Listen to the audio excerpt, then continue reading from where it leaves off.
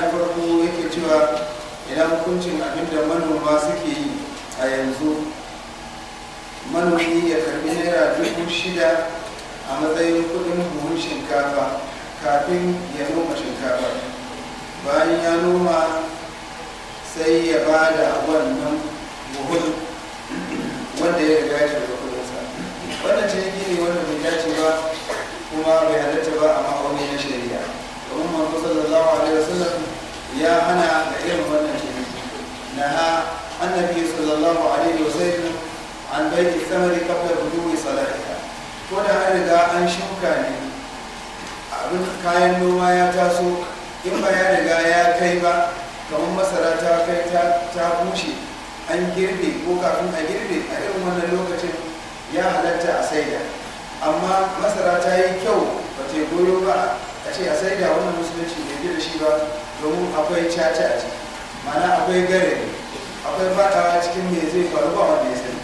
Ta iya tana da kyau kafin gobe an samu matsala ko kuma kila a samu ƙarancin ruwa da zamto rani ya sadu da da shukar ba ta kai ake so ba.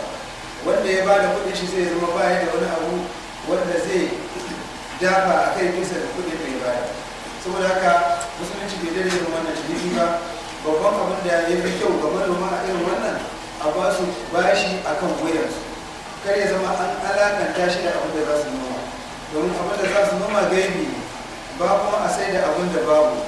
Wancan ma an ce sai ya kai daidai yadda babu damuwa gudu sala ake saidawa. To balle wannan ba a ma fara noman ba ba a shukan ba ba san ya damu da za ta kasance ba. Ba san kuma lokacin da abin noma ko amfanin gona zai kai babban abin da ya fi kamar da ya gabata manomi ya karɓi rance ko daga hukuma ko daga banki ko daga wani wanda zai taimaka masa daga cikin abokan hulɗarsa. Ya yi rancen nan ya zama rancen yana a wuyansa. Je amfani da wannan rance ya yi noma idan allah ubangiji maɗauki sarki ya bashi wato samu bayan bayan ƙara noma. Sai ya biya. Don kuma noman bai kyau ba bashin na nan a wuyansa da alakanta wato bashin da yin noman ba. Ko kuma a yi abin da ake ce ma wato abin nan musharaka ta cikin noma. Ya zama wani ya ba da kuɗi wani kuma ya ba da hikimarsa da basirarsa da ƙarfinsa. A yi tarayya a ciki ko kuma mutane biyu su haɗa kuɗi. Wannan yana da babban gona baya iya noma ta shi. Samu wani abokinsa ya kawo kuɗi don noman na taki da sauran kayan aiki. Su haɗu da kuɗaɗensu su yi noma. A kan yarjejeniyar za a raba daidai wa daida ko kuma za a raba gwargwadon kuɗin da kuma ya ba da. Wannan ya halatta a shari'a ba ya da matsala amma wato karɓar kuɗin abin noma kafin a noma. Da alƙawarin in an noma za a ba da wannan ba ciniki ba ne wanda musulunci mutum ne ya wasiyar akan cewa idan ya mutu ga wanda zai yi masa sallah. Bayan rasuwarsa magabatansa suka ga wannan wasiya da ya bari. Amma aka yi ta neman wanda mutumin da ya ce zai ma ya mai sallah ba a same shi ba. Daga baya aka gane cewa ashe shi wannan da ya ce masalla ya ma riga ya riga shi da gaskiya. Mana shi ya tafi a kafin wanda yake wasiyar a sallah to a nan me za a yi? Ko shakka babu wasiya ana zartar da ita ne idan akwai muhalli na zartar da ita. Idan kuma waɗanda ke zartar da wasiyar sun ga babu wuce gona da iri ba sabon allah babu kuma cin haƙƙin waɗanda wasiyar take shafa. Domin wasiya idan an yi ta musamman wasiya ta kuɗi. Daga cikin abin da allah ya ba mutum da dukiya shari'a ta ba shi damar ya yi wasiya kar ya wuce ɗaya bisa uku na dukiyarsa. Saboda faɗin hadisin abdullahi hadisin sa'ad ɗan abi waqas lokacin da yake kwance ba da lafiya manzo sallallahu alaihi wasallam ya je dan ya gaishe shi. Bayan ya gaishe shi sai ya ce mishi ya manzon Allah sallallahu alaihi wasallam ka ga yadda jiki na yake. Kuma ni mutum ne mai dukiya. Ba wanda zai gade ni sai ya ta guda ɗaya saboda haka ina son ka bani dama yi sadaka in yi wasiyar cewa dukiya ta ga baki ɗaya a ba da ita bisa gida. Sai manzon sallallahu alaihi wasallam yake cewa a'a. Sai ya ce to zan raba biyu in ba da rabi. Ya ce shi ma a'a. Sai ya ce to zan raba uku in ba da ɗaya bisa uku shine filifi sai wa nufin zawa da sai yake cewa a filifi wa filifi kafi ukun a kasa uku a ba da ɗaya bisa ukun ba laifi amma shi ma ya yi yawa. Ka bar ƴaƴanka cikin wadata da rufin asiri shine mafifici daga bar su suna suna bara suna kuma roƙo a wajen mutane. Wannan sai zama shine hadisin da ya ba da dama ga dukkan mutum. Zai iya ya ba da wasiya na ɗaya bisa uku na dukiyarsa abin da ya mallaka kafin ya rasu. Magada ba su da damar su ce a amma in ya wuce ɗaya bisa uku to sai an nemi yardar su da abin da ya wuce ɗaya bisa uku. To a lokacin da duk mai wasiya zai yi wasiya idan ya yi wasiya masu zartar da ita dole ne su duba su gani. Shin wasiyar nan in an zartar da ita ba za ta taɓa haƙƙin magada ba? Wasiyar nan in an zartar da ita ba ta shiga cikin haƙƙin Allah ba? Kamar mutum ya yi wasiyar da wani yaro la mutum ya wasiyar cewa bayan rasuwarsa a yi kamfanin giya. Kaga wannan ba za a zartar da ita ko kuma ya wasiyar cewa bayan rasuwarsa a gina gida na ɓarna da sauransu ko a gina coci ko makamacin haka. Ba kowace wasiya ce ake zartarwa dole ne waɗanda za su zartar da wasiyar su gane halaccin yin wasiyar. Sannan kuma akwai lokacin da wasiya ya halatta a yi ta amma baya yiwuwa a yi ta kamar irin wannan. Domin shi wanda aka ba wasiyar mai sallah baya idan ba a gan shi ba an neme shi gwargwadon iyayen da ake iya yi sai a gabatar da wani wanda mutum da ake kyautata masa salahiya sai ya yi sallah. Domin a sanin cewa hadisin manzo sallallahu alaihi wasallam ya nuna cewa idan Allah ya karɓi ɗaya daga cikin ku a cikin ku to ku yi hanzari a kai shi ya zuwa makwancinsa a kai shi kuma ya zuwa gidansa. Domin yana cikin bege idan ma'abucin alkhairi ne mai imani Allah sa mu a ciki ya je ya zuwa gidansa. Sai fa idan abin ya faru kila a wasu lokutan da aka hana a yi jinkiri ko kuma idan ana zato ko ana fatar za a samu masa da jama'a masu yawa. Kamar yadda manzo sallallahu alaihi wasallam ya yi lokacin mutuwar annajashi ya sa sanarwa a garin madina da wajen gari aka tara mutane domin a samar masa rahama domin a roƙa masa Allah. To za a iya jinkirin kai mutum ya zuwa makwancinsa idan akwai maslahar samun masa jama'a domin jama'a rahama ne. Allah ya samu dace. Za a iya a yi jinkiri idan ana neman wanda ya ce shi zai mai sallah. Kila daga wani gari kafin ya iso kuma ana neman sa ga ina yake. Amma in ya tabbata ba a san inda yake ba ko kuma a shi ma din baya nan to sai a nemi wani wanda jama'a ke shugabantarwa a wajen addini don yin sallah Allah ubangiji ya sa mu cika da imani. Wannan kuma tambaya ta kashe ke cewa yana son a yi mai bayani dangane da matsayin hannun jari a musulmi a shari'ar musulunci. Misali ina da wata fasaha ta kasuwanci amma ban da kuɗin gudanar da kasuwanci. Ko yana halatta na nemi wani banki ko wani attajiri domin ya bani wasu kudade domin na gudanar da wannan kasuwanci daga baya sai a raba riba. Wannan kasuwanci yana da mazauni na dindindin a mahanga da ma'auni na shari'ar musulunci. Kuma shine abin da ake ce ma a sharika a yi tarayya a wajen kasuwanci. Partnership da yaren turanci. A shari'ar musulunci ya kasu har wajen kashi huɗu. Akwai ai sharikatul mufawada akwai sharikatul inan akwai sharikatul wujuh akwai kuma sharikatul waɗannan sharikoki sharikatul mufawada shine a inda mutane biyu ko fiye da biyu babu ka'ida ya zuwa lambar inda an samu maslaha. Za su yi tarayya a wajen haɗa kuɗaɗe. Da sharaɗin duk kuɗaɗen da za su kawo ya zama kowa daidai wa daidai. Ma'ana abin da wane zai kawo da abin da wane zai kawo ya yi daidaito domin a haɗa capital ɗin domin a haɗa jarin kasuwanci. Wane ya ba da dubu wane ya ba da dubu ɗari su goma su miliyan ɗaya. A je a yi kasuwanci. Ya zama suna da taswiya ma'ana suna da daidaito wajen tara kuɗin jari. Sannan kuma ya zama suna da daidaito wajen haƙƙin gudanar da kasuwanci. Suna da daidaito wajen faɗa a ji na yadda za a yi a cikin kasuwanci. Sannan in an zo raba riba ita ma suna da daidaito domin kowa jarin da ya ba da daidai haka nan in an faɗi wanda ya zubi lahi suna da daidaito wajen raba faɗuwa domin kowa abin da ya ba da daidai wannan ita ce ake ce masharikar mufawada ta halatta a shari'ar musulunci. Babu kuma saɓani na malamai a ta biyu ita ce sharikatu inan inda zai zama kamar ta farko amma kuma da saɓani a wajen tara jari. Wannan zai iya ba da dubu hamsin wannan ya ba da dubu ɗari da hamsin wancan ya ba da dubu ɗari biyu. A hada a tada jari. To a wannan lokacin zai zama jari tara jari bai zama an yi daidai ba. Sannan mulki da kuma iko na gudanar da kasuwanci shi ma ba zai zama daidai ba.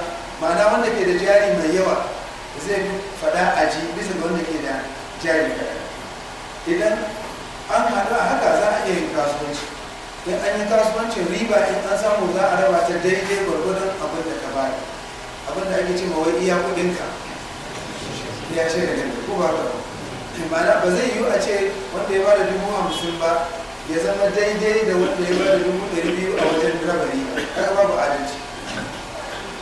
Amma kuma wasu malamai sun ce idan har masu kuɗaɗen sun yarda akan yarda domin innamal bai'u an tarabi ciniki sai da sayarwa akan yarda ne. Mai dubu ɗari biyu da mai ɗari da hamsin da mai hamsin da mai ɗari suka haɗu suka yarda cewa in an samu riba a raba daidai wa daida kamar taimakon juna to babu haramci a yau ne haka. Ina fata an fahimta. Amma idan an faɗi to kowa kuma ya koma za a caje shi a daidai abin da ya ba da wannan babu saɓani a kai. In faɗuwa ta zo to za a zai zai shafi mutum daidai abin da ya ba da a wani hada jari wannan ita ce ake shi masharikatu ina ita ma ta halatta a shari'ar musulunci babu wani saɓani daga manyan malamai dangane da ita. Sai ta gaba sharikatul wujud ita kuma na ce mata wato tarayya ta huskoki. Da wane da wane dukkan su ba mai ko sisi. Sai dai mutane ne masu girma a cikin al'umma. Idan sun kara fuskar su za a iya ba su bashi. Ina fata amfani saboda suna ana da amana da su. To a shirikatul wujuh za su iya haɗuwa su biyu. Su je wurin wani mai kuɗi ko kuma wajen wani kamfani su karɓo kaya na kasuwanci buhuhuwa na hatsi misali ko kuma a'a kaya na sai na wutar lantarki. Kowace irin haja ta kasuwanci su je su fara fuskar su su biyu ko su uku ko su huɗu ko su biyar. Su karɓo kayan nan su zo su aji su saida su cire riba su maida ma kamfani ko kuma su maida ma attajiri kudinsa na kayan da ya ba su. Wannan tana cikin tsare-tsare ko kuma kashe uku na shari'a. Sai dai malamai sun yi saɓani a wajen halaccinta ko kuma rashin halaccinta. Mazhabar imam abu hanifa da mazhabar imam ahmad bin hanbal da kuma mazhabar wato zaidiya sun yadda akan cewa wannan ta halatta domin amana ce bisa ga amana a kai saboda haka kuma wanda aka ba ya riƙe amana babu matsala a wannan kasuwanci. Mazhabar imamu na malik imamu darul hijira da imamu shafi'i adibul fuqaha da mazhaba ta zahiri ta dawo da zahiri tare da babban malamin su ibn hazm a cikin littafin sa al-muhalla sun tafi akan cewa wannan kasuwanci ne halatta domin akwai nau'i na garari a ciki. Ma'ana in har mutum zai je ya karɓo kaya bisa ga amana ya sayar to ya yi shi kadai kada a haɗu a je a karɓo. Amma duk sanda aka haɗu ya zama bashin yana wuyan wancan yana wuyan wancan yana wuyan wancan to akwai matsala. Domin in kaya sun ma'ana sun sun tabarbare ba a samu kuɗi ba to kenan ma za a kama? Ina fata mun da ko dai a kama su su duka ko kuma a rasa za a kama.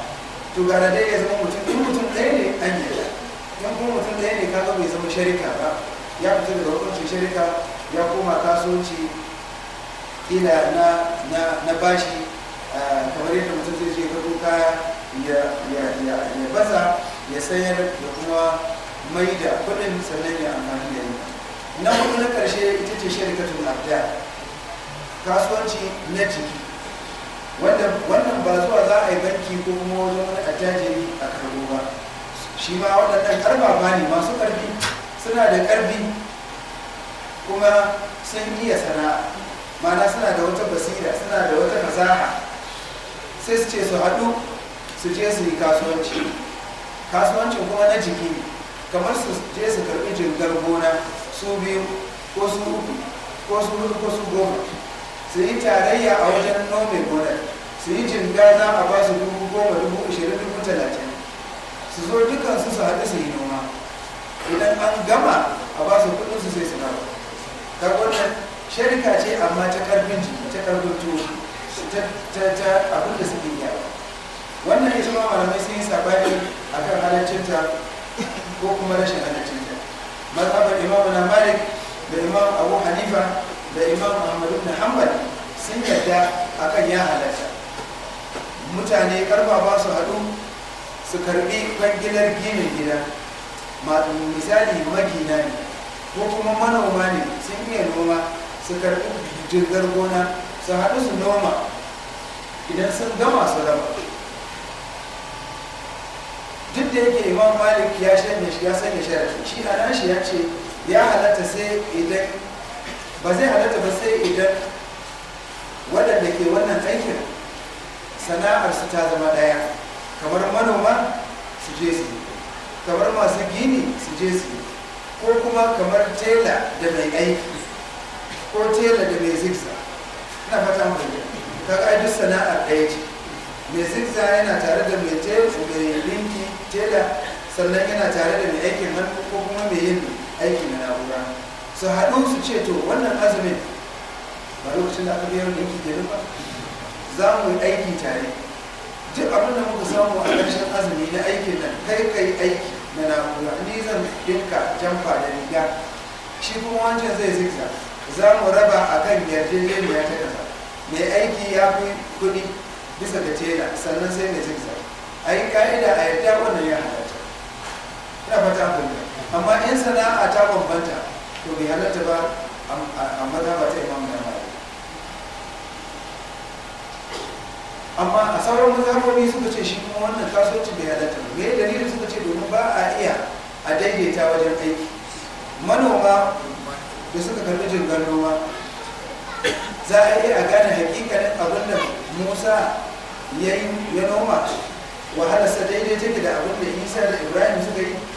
Zai yiwu? Ba zai yiwu. To tun da ko ba za a iya daidaita wahala ba bai kamata a zo a haɗu a wajen aiki sai dai kowa ya kai nasa. Wannan yake nuna mana tuni musulunci ya riga ya ba mu hukunci dangane da irin waɗannan kasuwanci kuma ya tsara mana yadda za mu yi. Kowanne mutum ya ga zai iya shiga sai ya yi ya halatta amsa wato kamar yadda tambayar take ya halatta in ma dai sharika ta farko sharikatu al-mufawada ko kuma ta ina ko ta wuju ko ta abdan. Na biyu a na ukun da na hudun tare da sabanin malami a na ɗayan da na biyu akan ba saɓani ya halatta Allah ubangiji kara ma dukkan sana'o'in albarka. Allah kuma ya sa mu dace. Aya ta ɗari biyu da ذكروا كتابنا أعوذ بالله من الشيطان الرجيم. بسم الله الرحمن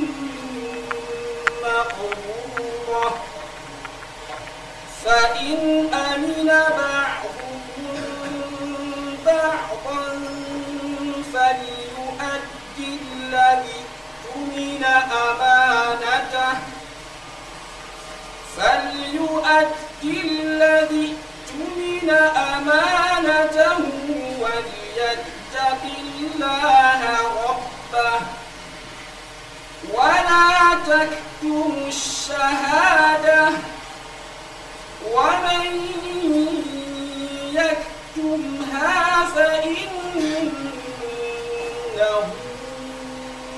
آثم قلبه.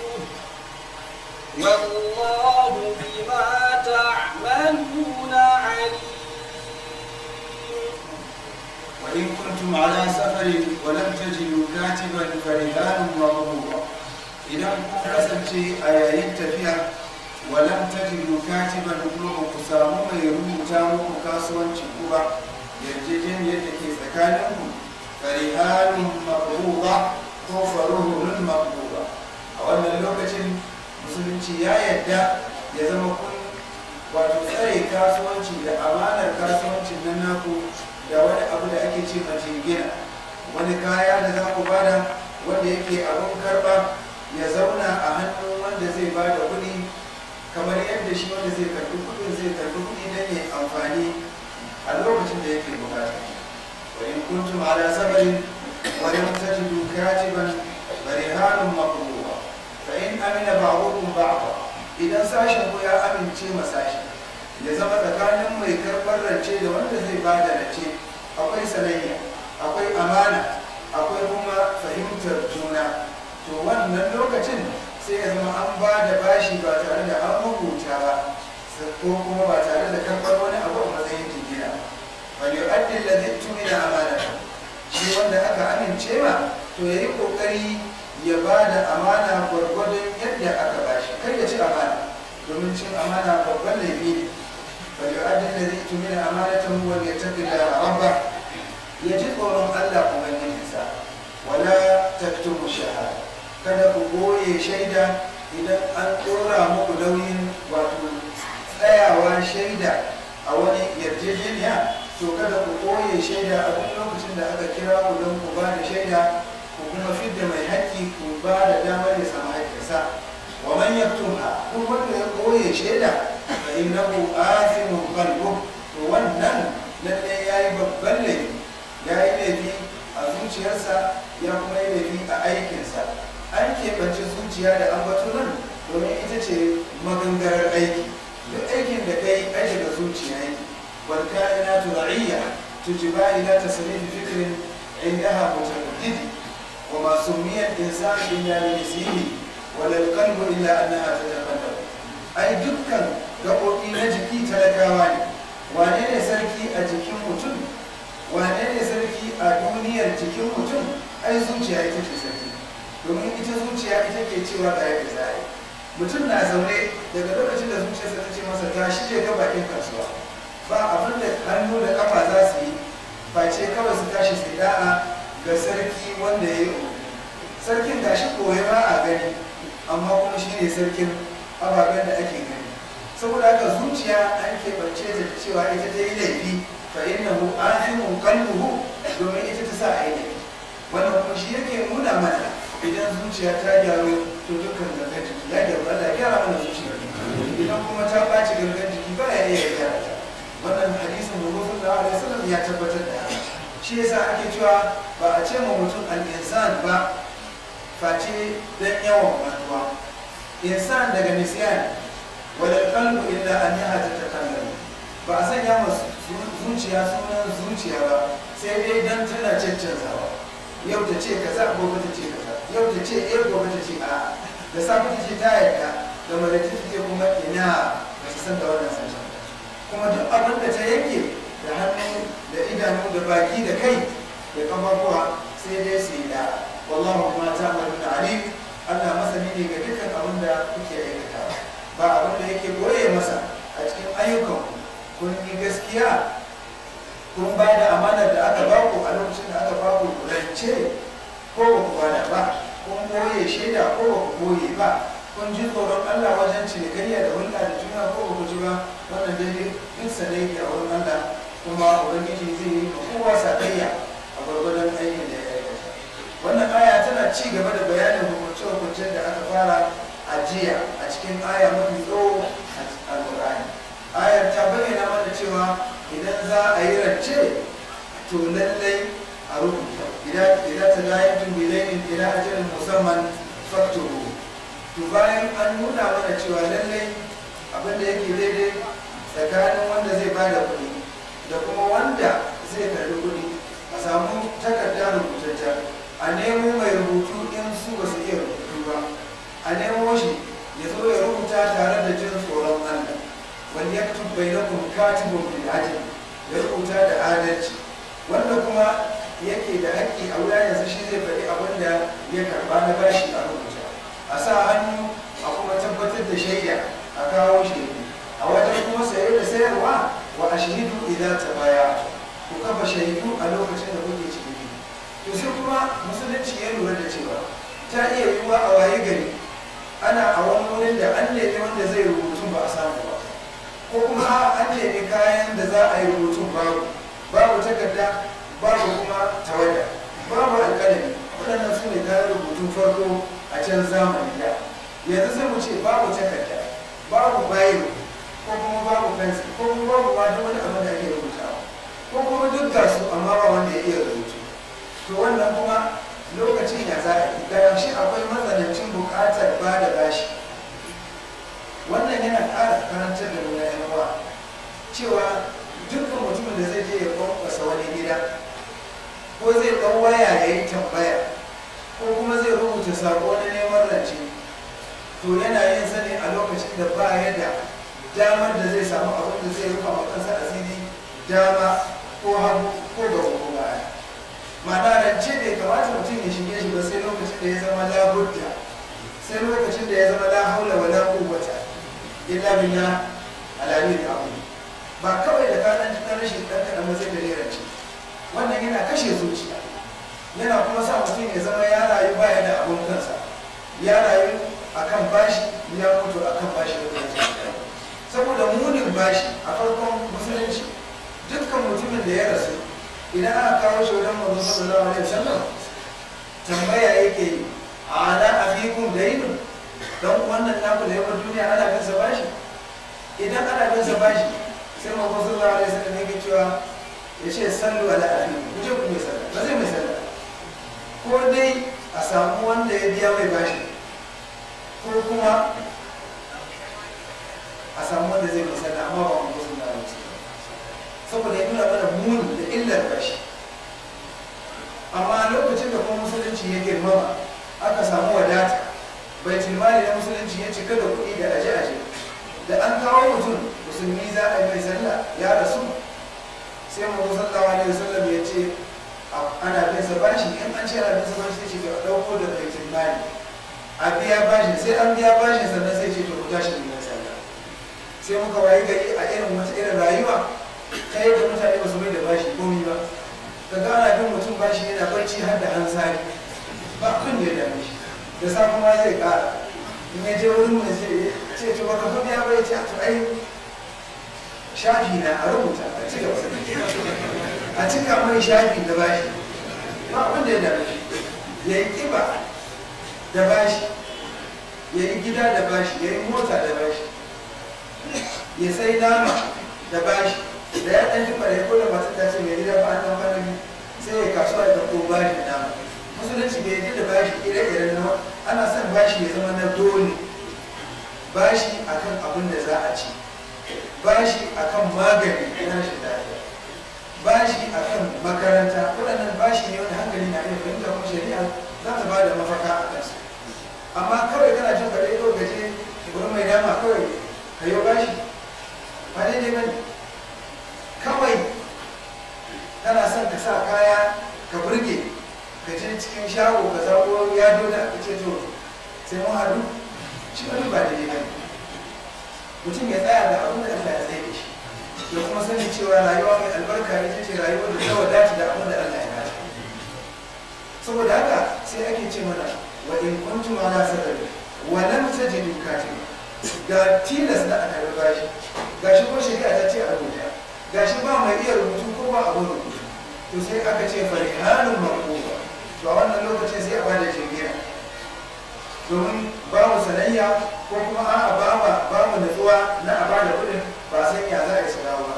Sai aka buɗe mana wani abu da ake cewa jingina a shari'ar musulunci. Jingina ita ce kana da kaya ko kuma kana da gona ko kuma kana da mashin ko kana da mota ko kana da gida ko kana da riga ko kana da sa ko kuma rago. Ko wani irin nau'i na kaya. Amma ba son kake ka sayar ba. Kana dai da buƙata na kuɗi. Kuɗin da kake da buƙata bai kai daidai kuɗin hajar ka ba. Amma kuma ba ka samu wanda zai baka bashin ba sai wanda zai karɓa ya riƙe don in baka biya ba a sai da wannan kayan don ya mai da kudinsa to wannan sai aka ce ya halatta. Gonarka da za a iya sai da miliyan ɗaya misali. Kai kuma kana da buƙatar dubu ɗari biyu. Ka ba da takardun mallaka na gonarka a hannun wani shi kuma ya baka dubu ɗari biyu. Ka je ka yi hidimarka. Ran da ka samu dubu ɗari biyu ka kamar da masa ka karɓi gonarka. Ko kuma ka maida masa ka karɓi gidanka. Ko ka maida masa ka karɓi sanka. Ko ka karɓi rakuminka wannan shine ake ce mai jingina. Bari hana mabuza kaga ba a samu wani damuwa ba na tunanin kila ko za a ko ba za a ba. Wannan kuma dan a nuna ba kaskanci ba ne sai manzo sallallahu alaihi wasallam ya zama shine babban abun koyi a babi na jingina. Hadisin Anas dan Malik Allah ya kara masa yarda. Da hadisin Aisha radiyallahu anha dukkan su sun rawaito hadisan na cikin bukhari da muslim cewa manzo sallallahu alaihi wasallam ya jingina ya ba da jingina a sulkensa mana rigarsa ta yaki domin ya auno wasu wani awo na shari'a don ya ci da iyalansa a gidansa ba abin da za a ci. A gidan manzo sallallahu alaihi wasallam za waye gari ba abin da za a ci. To kaga dan me zaka samu damuwa kai ma dan kawaye gari ba abinci? Gafiyayyen halitta khatamun nabiyina wa imamul mursalina afdalul khalqi qatiba bil ijma. Ya fi kowa a duniya. Allah ya zaɓi mutane a cikin duk halittunsa. babu wanda da suka kai daraja a ta mutane. A cikin mutane kuma babu wanda da suka kai annabawa daraja. A cikin annabawa babu wanda da suka kai manzanni. A cikin manzanni babu kamar ulul azmi guda huɗu. Wa idza akhadna min an-nabiyyin mithaqahum wa minka wa min nuh wa ibrahim wa musa wa isa ibn maryam. Babu kamar waɗannan. Sannan a cikin su su hudun duka babu kamar mutum biyu ashabul khulda. Annabi ibrahim wa takhadha Allah ibrahim khalila da annabi muhammad sallallahu alaihi wasallam. Inna Allah takhadhani khalilan kama takhadha ibrahim khalila a su biyun kuma babu kamar annabi muhammad sallallahu saboda haka a duk duniya ba kamar shi. Amma yawa ya gari ba abin da za a ci a gidansa. Lokacin kare ya yi ya ce aisha ba wani abu ba kai rabi Allah ba ta ce ya rasu da ai an waye gari gidan ba komi. Ya ce fa inna idan sa'in ba to shi ke nan tun da ba abin da za a ce mu ta zarce masu azumi ne mu. Bai ce mu je bai ce a je gidan makwabta ba na fataran kan bai ce a je shago ba na kusa da kaza.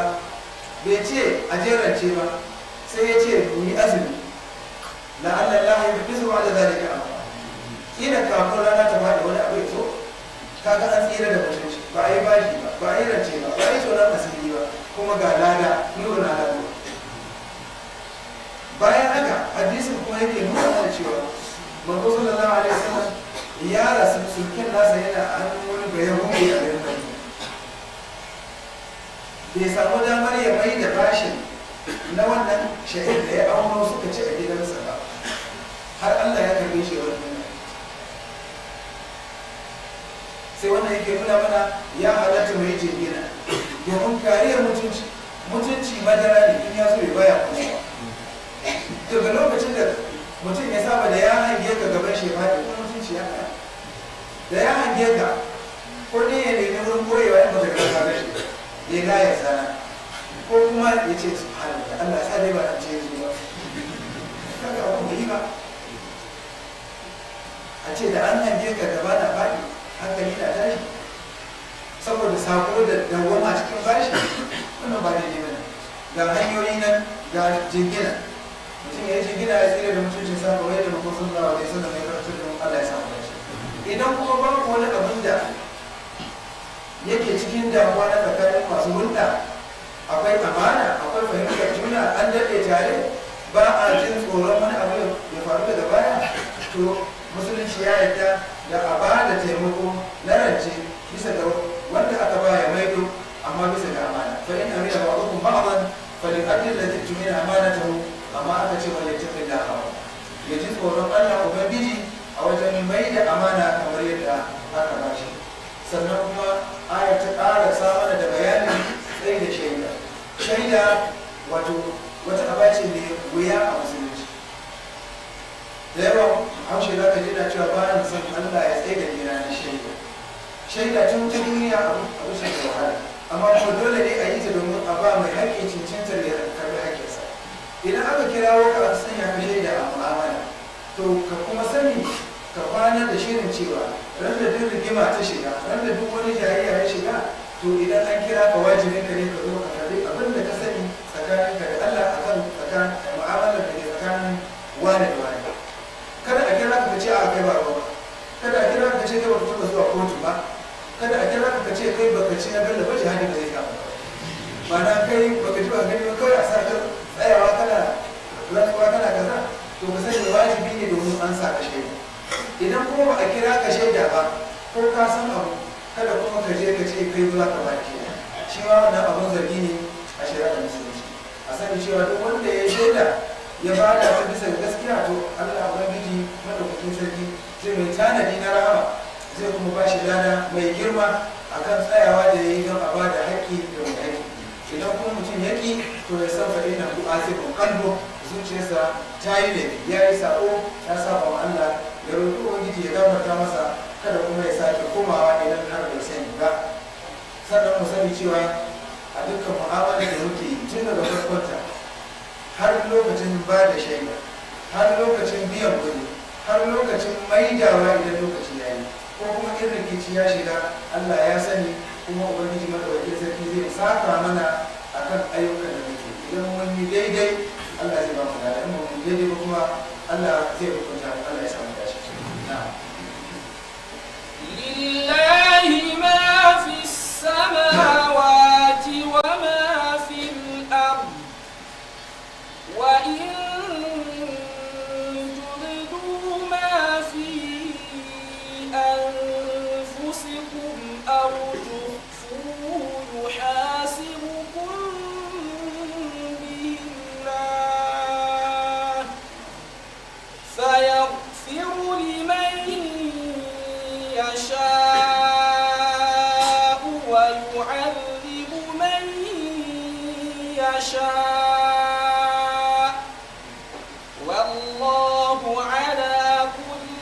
شيء قدير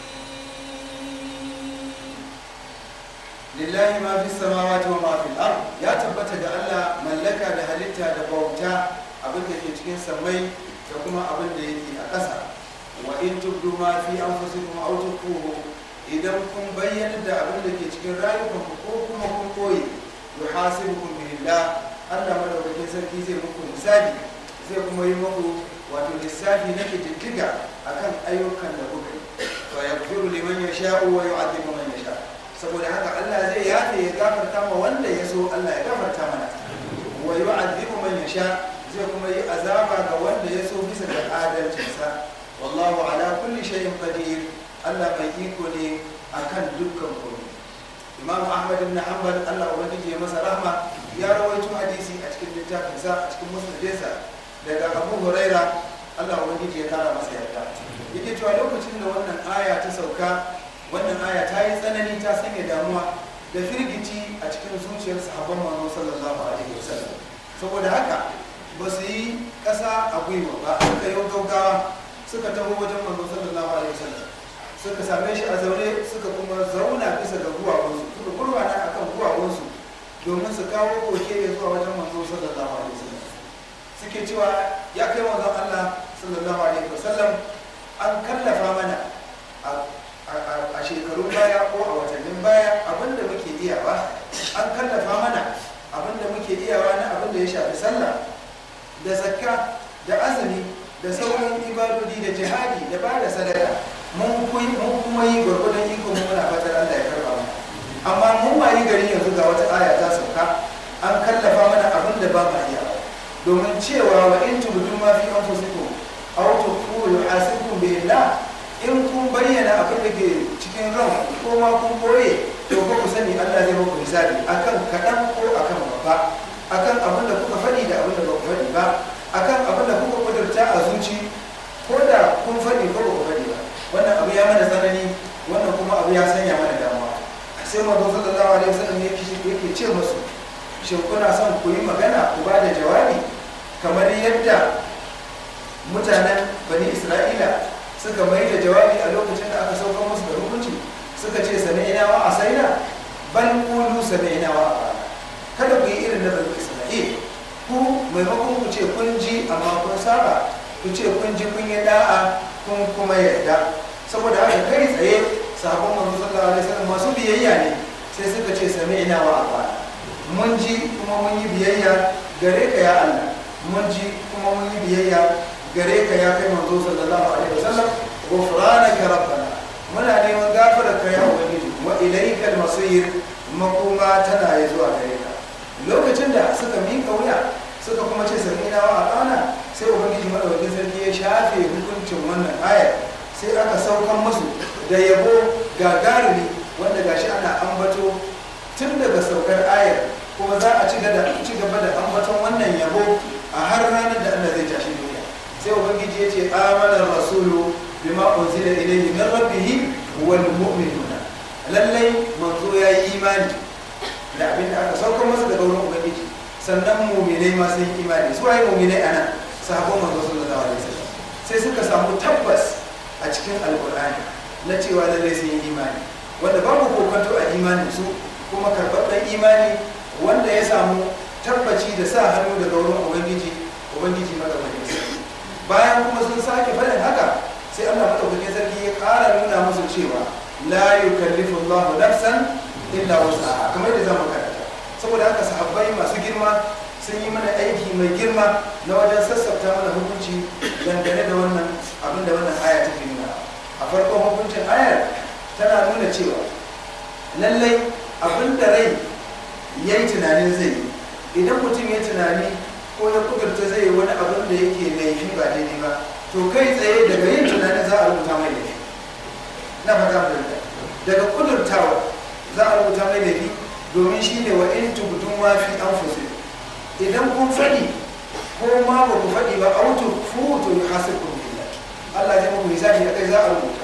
To amma da da suka roƙi wannan dama kuma suka biyayya da abin da aka ce su faɗi sai Allah madaukakin sarki ya yafe ya kuma sauƙaƙa wannan hukuncin. Aka ce la yukallifu Allahu nafsan illa wus'aha. Wannan aya tana da ƴan uwa da dama a cikin alƙur'ani daga cikin su akwai qul in tukhfu ma fi sudurikum aw tubduhu ya'lamu Allah. A cikin suratul al-imran za ta zo mana nan gaba ba da dadewa ba insha Allah. Akwai wa in tajhar bil qawli fa innahu ya'lamu sirra wa akhfa. A cikin suratul Taha. Akwai kuma faɗin ubangiji madaukakin sarki fa inna allaha kana bi kulli shay'in alima a cikin suratul ahzab da sauran inda ubangiji yake nuna mana cewa duk abin da mutum yake kudurtawa ko yake kullawa a cikin zuciyarsa a shi kadai a ɗaki a cikin duhun dare a ƙarƙashin teku a ko ina mutum ya ɓoye to fa Allah ya sani. Ba inda mutum zai je ɓoye ubangiji. Saboda haka ba abin da zai ba mu tsira face mu ji tsoron Allah. Mu kuma san da muraƙaba muraƙaba ita ce mutum ya yi imani da cewa Allah yana tare da shi yana kusa da shi yana ganin sa fa in lam takun tarahu fa innahu yaraka. Idan har kai baka ganin sa to fa ubangiji yana nan tare duk wanda ya fi ka martaba ta muraƙaba to kuma ya fi ka imani. Duk wanda idan zai yi abu yana jin a jikinsa Allah na kallon sa saboda haka in mai kyau ne sai ya yi ba mai kyau ba ne sai ya fasa. To wannan shine ke da makami shine kuma ke da abin da ke taimakon sa ya zuwa karuwar imani. Allah ya kara mana haka Allah ya samu dace. Wanda kuma ba ruwansa ya dan shige lungu yana ganin shi kenan ya bace to akwai ko shakka babu raguwar imani a cikin ayyukansa kuma zai gamu da ubangiji a aikin da ya yi sawa a bayyane ko kuma a ɓoye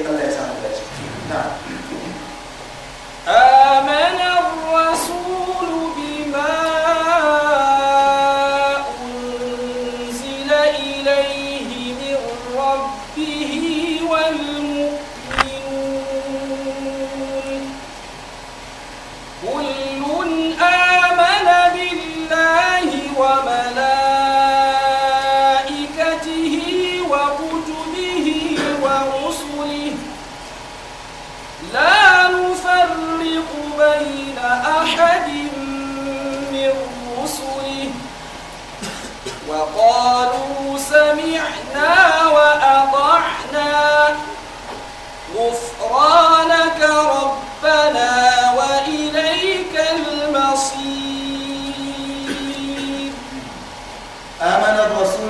unzila ilayhi min rabbihi wal mu'minun manzo yayi imani da abin da ubangiji madaukakin sarki ya saukar masa yayi imani da abin da ubangijin sa ya saukar masa shine alqur'ani wal mu'minun mu'minai ma sun yi imani kullun amana billah kowanne ɗaya daga cikin su yayi imani da Allah akan tafsiri ya yarda da cewa akwai Allah wa mala'ikatihi ya kuma yarda da mala'ikun Allah wa kutubihi ya yi imani da littafai na ubangiji madaukakin sarki wa rusulin sannan ya yi imani da manzanni waɗanda ubangiji ya aiko ya zuwa al'ummomi daban-daban.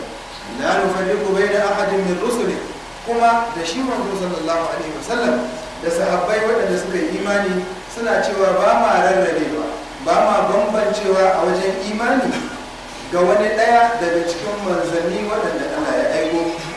Wa qalu sami'na wa ata'na. Kuma suka ce mun ji ji na fahimta. Wa abana kuma mun yi ɗa gufranaka rabbana. Muna neman gafarar kaya ubangijinmu. Wa ilayka al-masir. Makoma ya zuwa gare ka take ya ubangiji. Wannan aya ya yan uwa tana daga cikin manyan manyan ayoyi waɗanda ke da martaba da daraja a cikin ayoyin suratul baqara kuma a cikin ayoyin alqur'ani. Imam muslim ya rawaito hadisi daga abdullahi dan umar allah ya kara masa yarda da shi da babansa. Yake cewa yana daga cikin ababe guda uku waɗanda aka baiwa manzo sallallahu alaihi wasallam a daren isra'i da mi'raj. An yi mai baiwa an yi mai kyauta na wasu abubuwa masu muhimmanci waɗanda sun bambanta da ababen da aka bashi kafin isra'i. Ubangiji fa kana qaba qausaini aw adna fa auha auha ma kadaba al-fu'ad ma daga cikin manyan manyan abubuwan da aka bashi a wannan lokacin lokacin da mala'ika jibril ya raka shi an kai bagiran da mala'ika jibril shi kansa baya da damar tsallake wani wuri. Sai da aka je wani wuri sai mala'ika jibril ya ce manzo sallallahu alaihi wasallam to fa yanzu sai ka je. Ya ce to ai tare muka zo tun daga duniya. Ya ce a'a wa ma minna illa lahu maqamun ma'lum. Kowanne daga cikin akwai inda baya ketarewa iyaka ta kenan ban taba ƙetare nan ba ban kuma taba wuce nan ba. Saboda haka kai kadai aka ba dama kuma kai kadai aka buɗe ma ƙofa. Tafiya zuwa wurin ubangiji. Annabi muhammad sallallahu alaihi wasallam ya je ya gana da ubangiji ya karɓo mana sallah. Salloli biyar fi kulli yawmin wa layla. Biyar ne amma ladar su kamar hamsin kamar yadda hadisin yake nuna abu na biyu wanda aka bai wa manzo sallallahu alaihi wasallam a wannan lokacin shine khawatim suratul baqara. Ayoyi waɗanda suke cike suratul baqara. Malamai sun yi saɓani akan daga ina ake fara su. Shin daga lillahi ake farawa? Ko kuwa a'a ana ɗan yi baya? Amma zance mafi inganci wanda ya fi dacewa da abin da nassin hadisi yake nunawa shine sun fara daga amanar rasul bima unzila ilayhi min rabbih wal mu'minuna zuwa ƙarshen sura. Wannan aka baiwa manzo sallallahu alaihi wasallam aka bashi aka ce ya zo ya ba al'ummarsa. Ya kuma ba mu kamar yadda za mu karanta hadisan a nan gaba mu ga menene fa'idodi na waɗannan ayoyi masu girma. Abu na uku wanda aka baiwa manzo sallallahu alaihi wasallam a lokacin Isra'i da Miraji shine ake cewa kai bishara ka sanar da al'ummarka. Cewa ubangiji madaukakin sarki ya gafarta ma kowa daga cikin al'umma in dai bai shirka ba. Mana in dai mutum bai yi shirka ba to yana ƙarƙashin gafara ta ubangiji Allah ubangiji ya gafarta mana wannan kuma gata ne da aka keɓance wannan al'umma da shi. Wasu al'ummomi da suka gabata ba su samu ba. Muna godiya ga Allah da ya mana wannan gata. Muna kuma fatan Allah ya ba mu ikon cin gajiya na wannan gata. Allah ya sa mu dace. Ayat take cewa amana rasul. Manzo ya yi imani. Ar-rasul a nan ya zo da alif walla wanda take a larabci ko dai ta zo listin jinsi.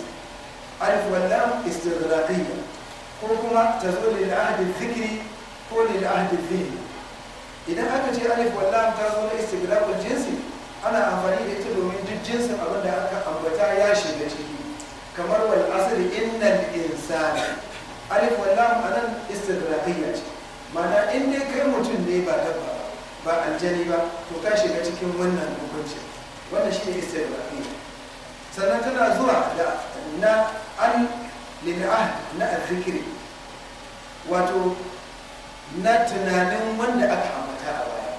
Misalin ta kamar cikin suratul muzammil inna arsalna ilaykum rasulan shahidan alaykum kama arsalna ila fir'auna rasula kaga rasula guda biyu inna arsalna ilaykum rasulan kama arsalna ila fir'auna rasula kan kushe ka ba ai ba manzo dai ba ne. Arsalna ilaykum rasulan ai muhammad sallallahu alaihi wasallam kama arsalna ila fir'auna rasula wai annabi musa alaihi salam to ayar gaba sai ta ce fa asa fir'aunu rasula sai fir'auna ya saba ma manzon sai aka sa alif wallam na al'ahd al-dhikr wani manzon wanda muka ambata a baya wane ne annabi musa alaihi salam ina fata an fahimta sannan kuma akwai na al'ahd al-dhihni al'ahd al-dhihni shine wanda dama ya tabbata a zuciyarka. Da an ce manzo ba wanda zai zo maka sai shi. Da an ce littafi ba wanda zai zo maka sai shi. Alif lam mim zalikal kitabu. Wani hadisi zai zo? Fikihu zai zo? Littafin dictionary zai zo? Haka zai zo domin me? Domin ya riga ya tabbata a zuciyarka da an ce alkitabu ba wanda zai zo sai alqur'ani. Saboda haka nan da aka ce amanar rasul waye zai zo? Annabi muhammad sallallahu alaihi wasallam. Ba kuma wani tawili ba tafsiri ba tamba saboda haka manzo ya yi imani. Ina ba wannan bayanin ne domin abin da zai zo mana na wani tawili da wasu wasu wani kanikanci na masu aƙidar shi a Allah shirye su. Domin ƙoƙarin cewa wani mu'min nuna ba sahabbai ba ne. Ina fata mu amma in muka ƙoƙarin gane cewa amanar rasulu ba wanda yake rifarin ya zuwa gare sa sai manzo sallallahu alaihi wasallam. To wal mu'minuna suwa ne? A ku ce mu'minai. Ko ba ba? Kada ce ko ina. Wal mu'minuna mu'minai. To kafin kowa ya zama mu'mini waye ya zama mu'mini? Waye farkon karɓar imani? Sai da abokan radiyallahu anhu. Ko ba haka to kaga kafin kowa ya zama mu'mini sai su sun zama saboda haka in ma an ce manzo ya yi imani sannan muminai ma sun yi imani suwaye muminai na farko a wannan al'umma? Su ne sahabbai. Kuma wa min babi aula al-khulafa al-arba'a al-mahdiyyin khalifofi guda huɗu shi ne. Sai na abubakar radiyallahu anhu an san cewa mumini shine farkon imani. Ba ma kada imani ba imanin sa za a auna shi da imanin al'umma da ya rinjaye al'umma. Saboda haka da za a da zai halatta da ubangiji ya hukunta a ce ba wanda ya yi imani kwata-kwata sai da abubakar ne kada ya yi imani amma a raba ma kowa imani sa da mun shiga ina aljanna. To kaga garanti ke lafiya. Sai na umar radiyallahu anhu ya yi imani. Yana daga cikin waɗanda suke makusanta manzo sallallahu alaihi saboda imaninsa da ya mai ƙarfi babban makiyi wanda ya fito da kakanmu annabi adamu daga aljanna zai hada hanya da shi. Domin wuri wargi wuri yayi ba sai an ga wurin wasa ake wasa ba. Ya man idza salaka fajjan salaka shaytanu fajjan ghayra fajjan. Ya wanda in dai bi hanya shaytan sai dai ne wata. Da sai na Umar ya biyo wannan hanyar to shaytan hanyar ta fi ƙarfin sa to kaga mafiyan kuma yan shi'a da shaytan suke kwana.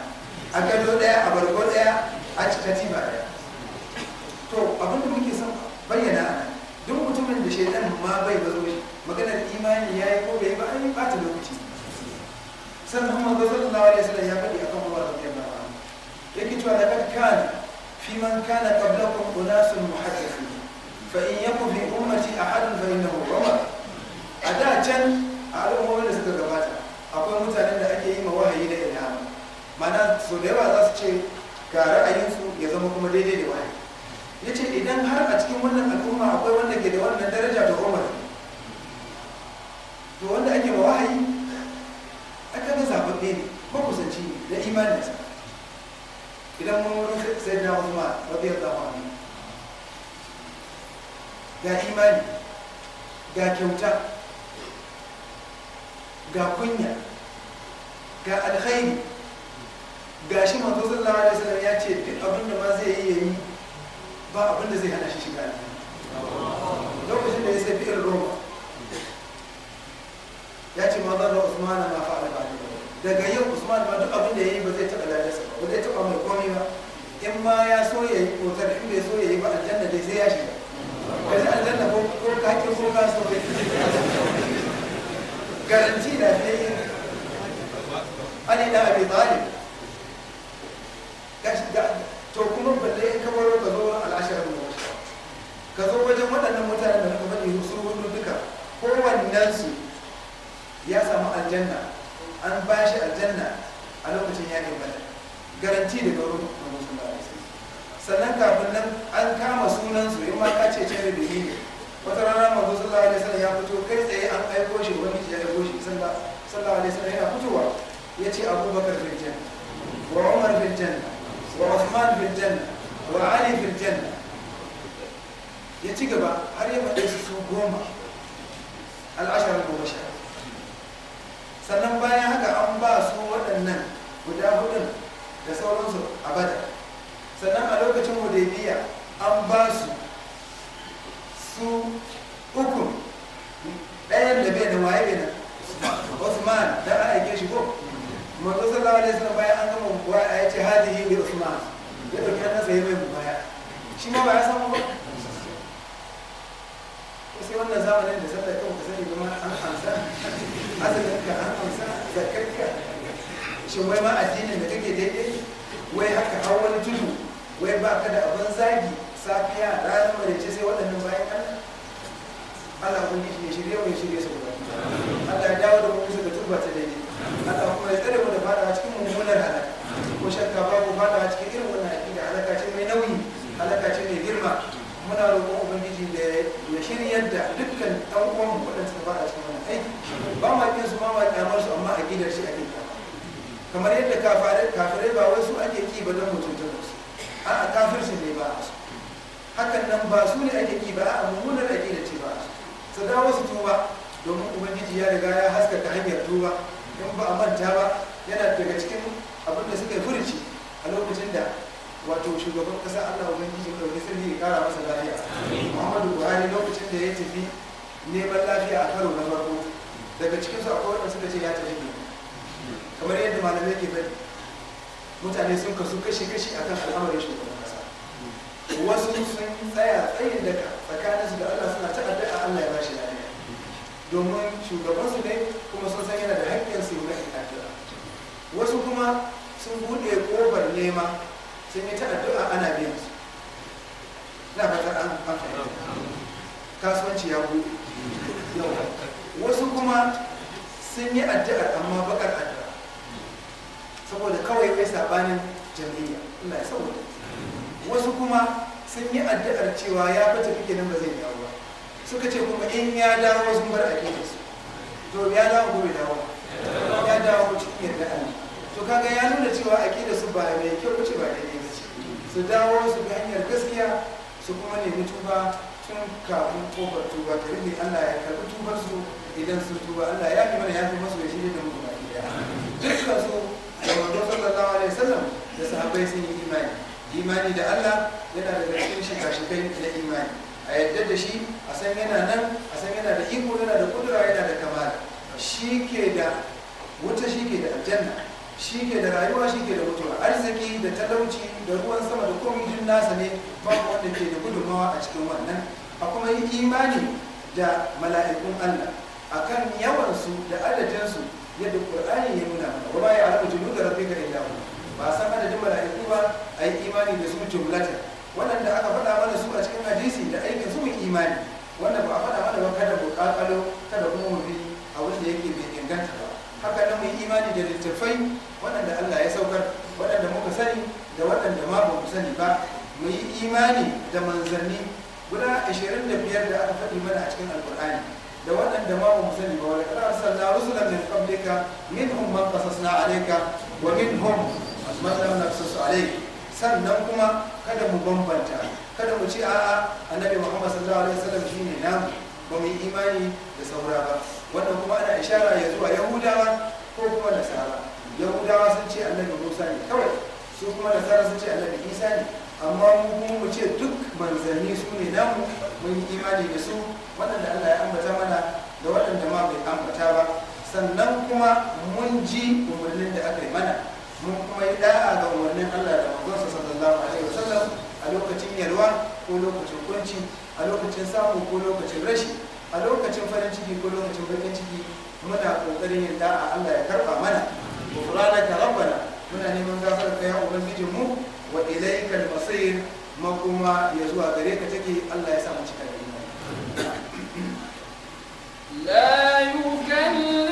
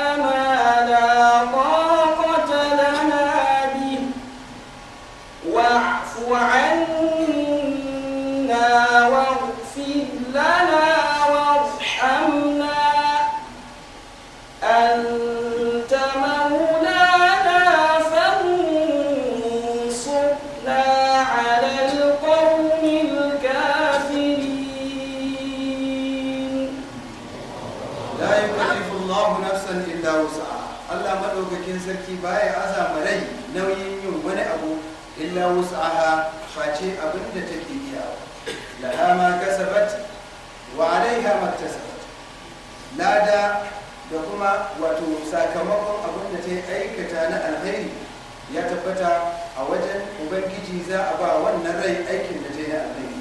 Wa alaiha ma kasabat zunubi ko kuma sakamakon mummunan aikin da kowa ya aikata shi ma yana nan a wurin ubangiji za kuma a cika ma kowa aikinsa gwargwadon abin da kowa ya aikata. Wa man ya'mal mithqala dharratin khairan yara man ya'mal mithqala dharratin sharran yara rabbana la tu'akhidna ya ubangiji muna roƙonka muna roƙonka kar ka kama mu da laifi. In na sina idan mun yi abu a kan mantuwa a akhtana ya ubangiji kada ka kama mu akan abin da muka aikata bisa kuskure. Rabbana wala tahmil alaina isran. Ya ubangiji mu muna roƙonka kada ka dora mana wani nauyi wanda ya fi ƙarfin mu kama hamaltahu ala ladina min qablina. Kamar yadda ka dora shi ga al'ummomi waɗanda suka gabace mu rabbana wala tuhammilna ma la taqata lana bi ya ubangiji mu kada ka dora mana abin da ba ma iya mu ɗauka wa afanna ubangiji muna roƙo kai mana rangwame kai mana afwa wa ghfir lana Allah ka lullube mu ka kuma yi mana sutura ka rufa mana asiri warhamna Allah ka ji kanmu ka tausaya mana anta maulana ya ubangiji ba ja kai ne majibincin al'amarinmu kai ne masoyinmu kai ne kuma mai cewa ga yadda za a yi a cikin dukkan abubuwan da muke. Wasu na halar kawai kafiri ya ubangiji ka taimake mu akan mutane waɗanda suke kafirai wannan aya ita ce aya ta ƙarshe a wannan sura mai girma suna sura mai daraja suratul baqara. Ita ce kuma aya wadda take kammala mana ayoyi biyu na khawatim wato suratul baqara. Ya tabbata a cikin hadisi manzo sallallahu alaihi wasallam yana cewa dukkan mutumin da ya karanta waɗannan ayoyi guda biyu fil lailati kafatahu a cikin dare sun ishe shi. Wasu ruwayoyi suka ce kafatahu min qiyamil layl. Sun ishe shi ba sai ya kiyamul layl ma'ana zai samu lada ka ce wanda ya yi qiyamul layl. Ko kuma a ce sun ishe shi za su ba shi garkuwa da kariya daga sharri na mutum ko na aljan za su kuma ba shi dukkan abin da yake so na natsuwa. Sannan za su zama tare da shi a abokantaka na rayuwa. Sannan duk abin da yake cikin ayoyin na addu'o'i Allah ubangiji ya bashi. Allah ya sa mu dace. Ayoyi ne masu girma ya kamata mu tsare su mu karanta su a duk lokacin da za mu kwanta. Hakan nan ya tabbata a cikin aikin sahabi ma'ar dan jabal Allah ubangiji ya kara masa yarda. A duk lokacin da ya karanta waɗannan ayoyi yana cewa amin domin ai addu'a ce. Ai idan ana yin addu'a mutum ya ce amin. Wanda ke da shi wanda ya ce amin idan karbawa ta zo sai su zama daidai wa daidai. Dan ga yanan a cikin suratul yunus lokacin da ubangiji ya karɓa ma addu'ar annabi musa da yake yi harun yana yana cewa amin sai allah ya karɓa musu su biyu. Annabi musa yana yin addu'a yana cewa rabbana innaka atayta fir'auna wa mala'ahu zinatan wa amwalan fil hayati dunya. Rabbana liyudillu an sabilik rabbana tumis ala amwalihim ala qulubihim fala yu'minu hatta yaru al'adab al'alim da aka tashi amsa sai aka ce kad ujibat da'awatukum an an samu ba ku biyu. Kenan da wanda ke addu'a da wanda ke cewa amin daidai suke in sun kyautata niyya a lokacin da ta. Zo haka nan lokacin da manzo sallallahu alaihi wasallam yake daga hannu yana addu'a a lokacin da yake Uhud da amsa ta zo ubangiji amsawa yayi cewa in tastajibu da rabbakum istastaghisu da rabbakum fastajaba lakum. Sai ce fastajaba lakum. Ba shi kadai ba mana an karɓa muku domin sahabbai suna ta cewa amin. Saboda haka koyi da aikin ma'azu a nan yana zama daidai ma'azu bin jabal radiyallahu anhu mu ma mu ce amin Allah ubangiji ya karɓa mu. Allah ya karɓa mana da wannan addu'a. Domin hadisan Muhammad sallallahu alaihi wasallam da suke kamar haka. Hadisi na farko hadisin Muhammad sallallahu alaihi wasallam wanda yake cewa rufi'a al-ummati al-khata wa nisyan wa mastukulu alai an ɗauke alƙalami ba za a rubuta ba ga al'ummar annabi Muhammad sallallahu alaihi wasallam abin da suka yi akan kuskure da kuma abin da suka yi akan mantuwa da kuma abin da suka yi akan tilas. An tilasta mutum ya yi ba da sa ran shi ba to babu laifi wanda za a rubuta masa. Hakan nan akwai hadisin da jama'a suka rubuto a cikin al-kutubu sitta wanda yake cewa manzo sallallahu alaihi wasallam yana cewa inna Allah tajawaza an ummati ma haddathat bihi anfusaha ma lam tukallim aw ta'lam. Allah madaukakin sarki ya yafe ma al'ummata abin da duk rai ya kudurta ko abin da duk rai ya kulla ko ya yi tunani ko da baya da kyau Allah ya yafe. In dai mutum bai faɗi ba kaga idan an yi magana aiki ya shiga ko kuma idan mutum ya aikata. Saboda haka a faɗin hadisin imam abu huraira wanda ke cikin sahih bukhari da muslim yana nuna cewa manzo sallallahu alaihi wasallam ya ba da bayani na bushara ga wannan al'umma.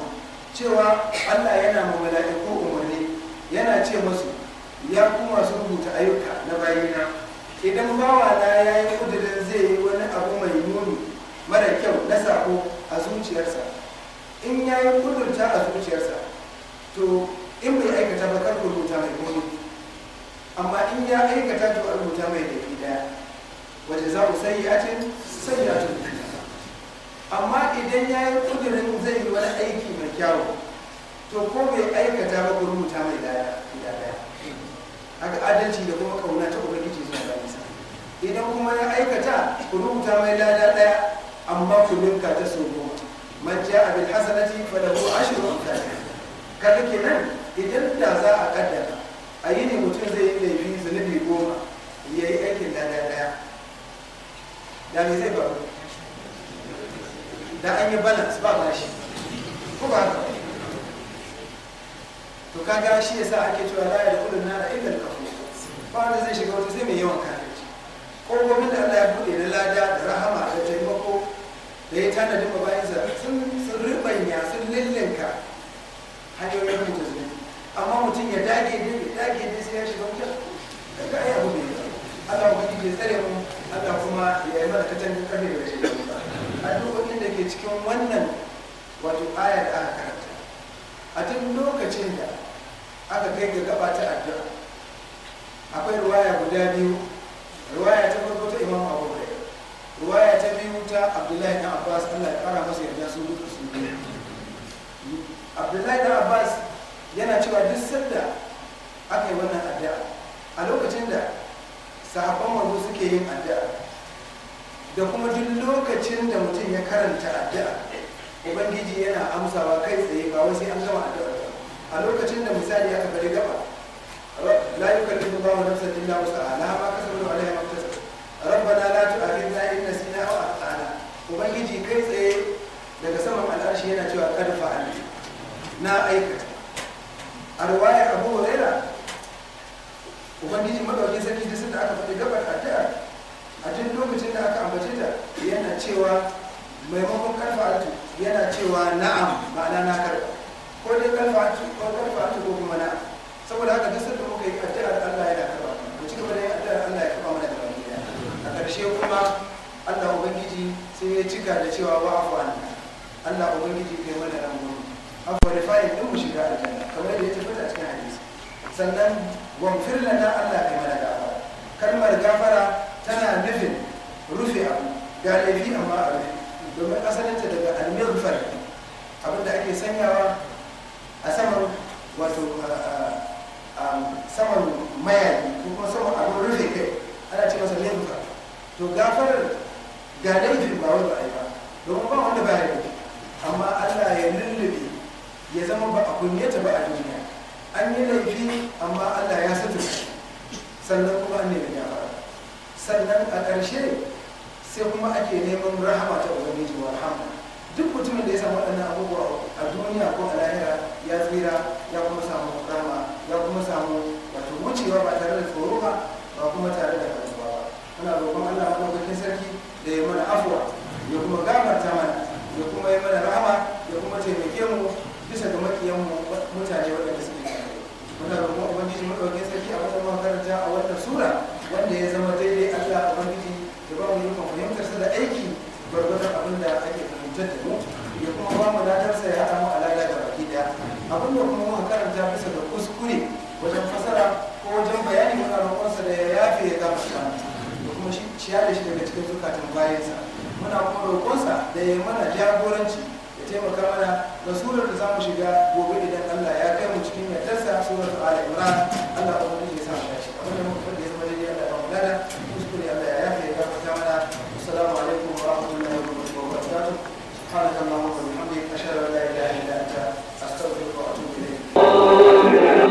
ارحمنا بالقرآن. واجعله لنا إماما ونورا وهدى ورحمة. اللهم ذكرنا منه ما نسينا وعلمنا علمنا منه ما جهلنا منه ما جهلنا.